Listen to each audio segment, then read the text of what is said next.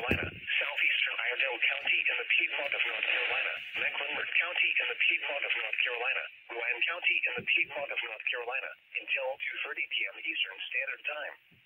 At 1.10 p.m. Eastern Standard Time, severe thunderstorms were located along a line extending from 8 miles southeast of Statesville to 3 miles southwest of Rock Hill, moving northeast at 85 miles per hour. Hazard, 60 miles per hour wind gusts. Source, radar indicated. Impact, expects damage to trees and power lines. Locations impacted include Uptown Charlotte, Huntersville, Kannapolis, Downtown Concord, Salisbury, Mocksville, Central Charlotte, South Charlotte, Northeast Charlotte, and Southwest Charlotte.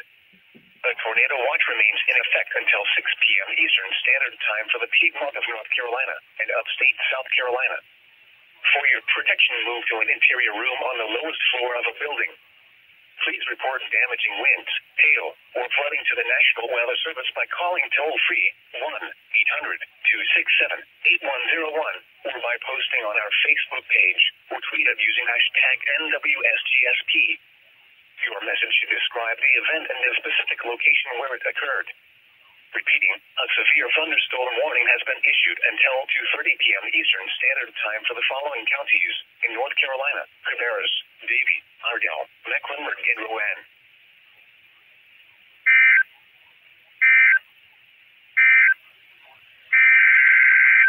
What's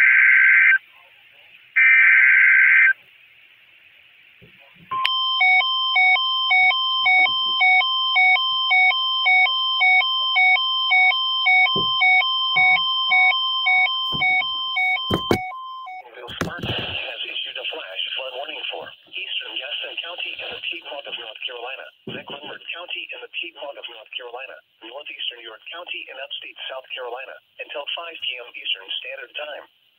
At 1:11 p.m. Eastern Standard Time, Doppler radar indicated thunderstorms producing heavy rain encroaching upon the warned area. Between 1 and 1.5 inches of rain have fallen. Additional rainfall amounts of 1 to 2 inches are possible. Flash flooding is expected to begin shortly, especially along the fast responding streams and creeks in Charlotte. Hazard flash flooding caused by thunderstorms. Source radar.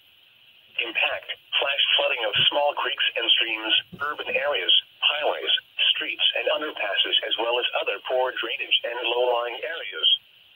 Be aware of your surroundings and do not drive on flooded roads.